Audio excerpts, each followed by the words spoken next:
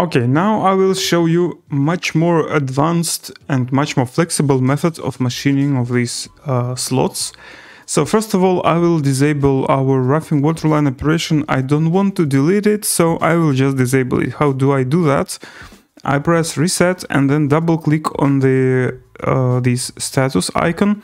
Now we can see the cross here, which means this operation is disabled and not considered in any of these projects output, I mean simulation or post-processing.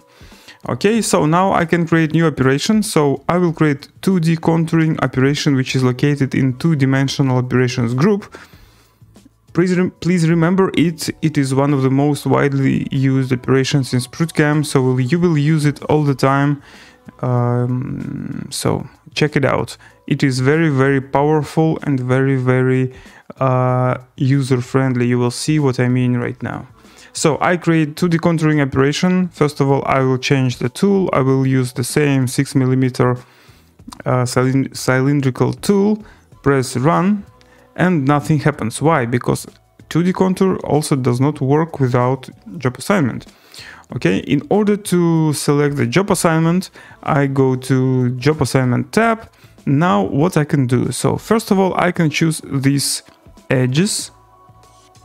By the way, uh, make sure that edges filter uh, is uh, selection filter is uh, turned on okay so uh, I select these two lines and press curve okay I will turn off the machine visibility. Okay that's it. Now we can see the toolpath already. Not the toolpath but these interactive elements. Okay what's other option I can use for uh, selecting job assignment in this operation? Also very very useful. I can select these surfaces and still press curve. Okay and I have the same result okay uh, that's fine for me now next you can see that job zone is now uh, going uh, all the way to the bottom of the part sorry all the way to the bottom of the part. I don't need this, so I need to set the bottom level. I can do it in several ways. So for example, I can go to strategy. Here I have top, top level. You can see it now. You can see the bottom level. But I can also uh, select them via job assignment. Uh, look how to do this. This is much, much faster and much more useful. I select the surface and press bottom level, I select this surface and press top level. That's it. So now you can see that in uh, in strategy tab we have top level minus 2 millimeters, bottom level minus 7 millimeters, which is uh, obviously correct. Okay. So now I go back to job assignment and I will show you the coolest features of uh, 2D contouring operation right now. So in order to do this, I will choose this uh, point of view. So I will disable tool visibility and holder visibility and also I don't need the fixture now. So I have only the part. I will also disable machining result, but it doesn't matter. I just make it for convenience. Okay, we have these uh, nice uh, control elements which are interactive. What do they mean? So what we have here, so line, this is the machining line, machining toolpath. So I can choose, I can change the direction of it pressing this arrow. You can see now this is the beginning, this is the end of the machining. That's it, very easy. I can also uh, change this one. Okay. Uh, next, I can change the machining side of course now it will be it is detected automatically but I can change it like this. So we can see that this is my uh, job assignment. This is the contour I'm going along and I can change the side I'm going to machine. And here also I have the possibility to turn off equidistant calculation so this is the center of the tool if for example we have some um, cutting or something like that. It's quite often used, so we can use this uh, if we need.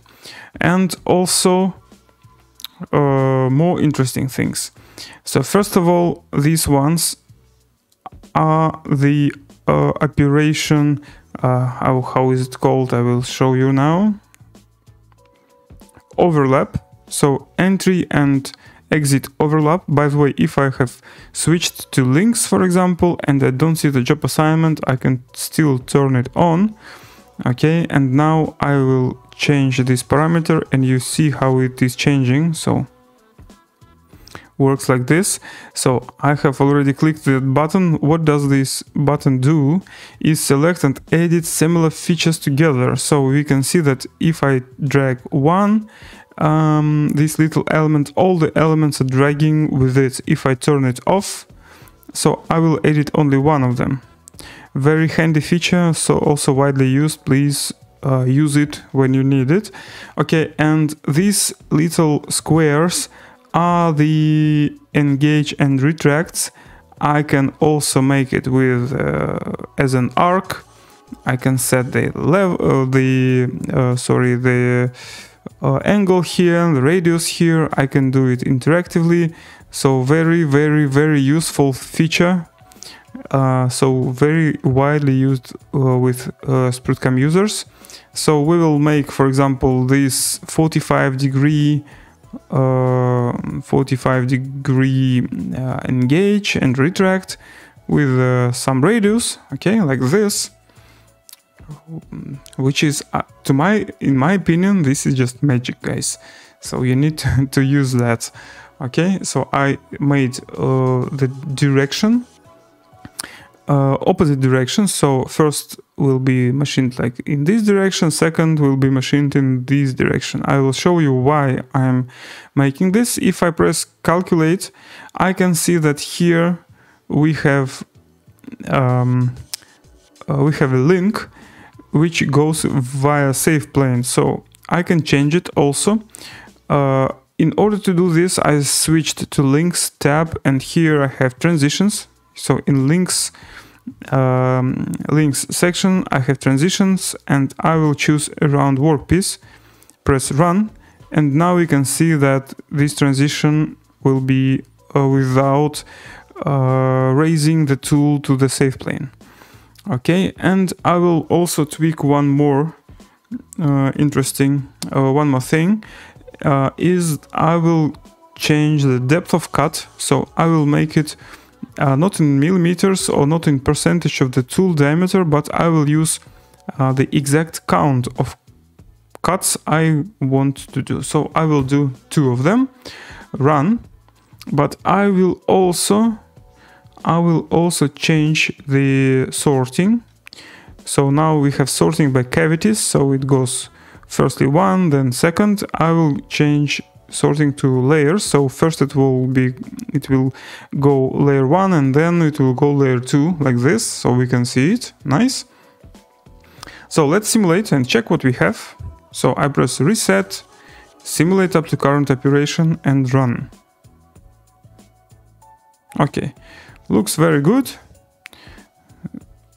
Okay, but we have made machining of the only one of the slots. How do we make the machining of all the slots? Of course, we can choose these uh, areas, select them as job assignments and add them here to this, to this list. But there is an uh, other way, which I will show you, is toolpath transformation. Uh, okay, so uh, I switch to this transformation tab, which is here. You can see the icon.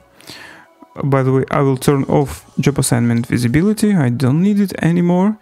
And now here we have a very powerful tool for toolpath multi multiplication. So if we have for example, some rotary axis, we would use multiply toolpath by axis, but we don't have a rotary axis because I will remind you that we have three axis machine. So I will use multiply scheme. So here are different multiply schemes you can explore it uh, yourself so i will just show you how to use one of them and i will show you round array okay So what do we have here? So we have six slots. So I will choose six and we have angle step, which is 360 by six is 60 degrees. Uh, that's it. But you can see that if I press run, uh, the center of this multiplication is now currently in G54, which is obviously fine by default, but we need to move it right here. So in order to do this, I can drag it. You can see the result instantly. By the way, very cool SprutCam feature. Okay. Uh, in order to attach it to the center, I need to enable Smart Snap.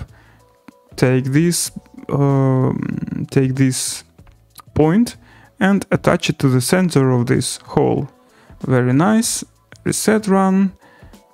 Okay, and let's check what we have on our simulation.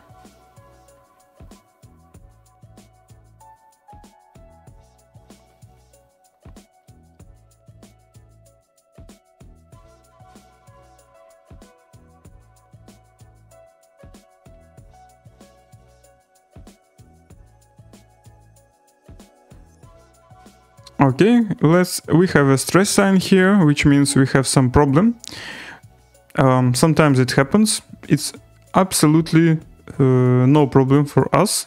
We will know what's the problem now. Let's check verify and see that we have some trouble uh, with the part gauge here in this area and here we have rest material. So we made something, we messed something with uh, with the the toolpath uh, multiplication, I think.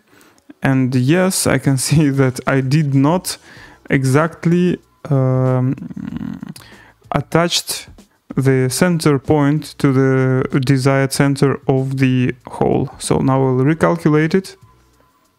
Okay, and check one more time.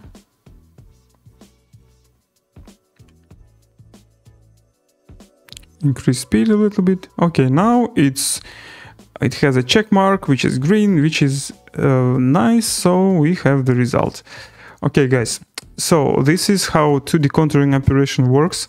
It is a very very useful, very very cool, very uh, feature-rich uh, operation. You can use these interactive elements which work like magic. You can use these buttons also so uh, make sure to explore this operation because you will use it in plenty of places all over the projects. Uh, so experiment with it and have fun.